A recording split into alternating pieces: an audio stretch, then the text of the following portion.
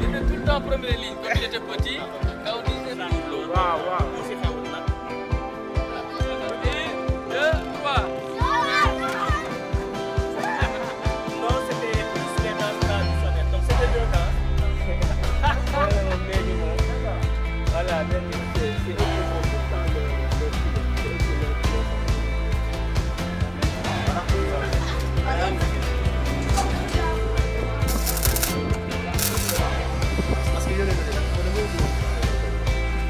Hein.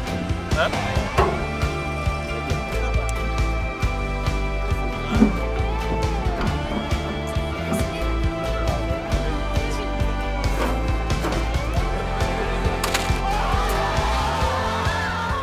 Et ici, on n'avait pas trop la culture d'utiliser les poubelles et autres.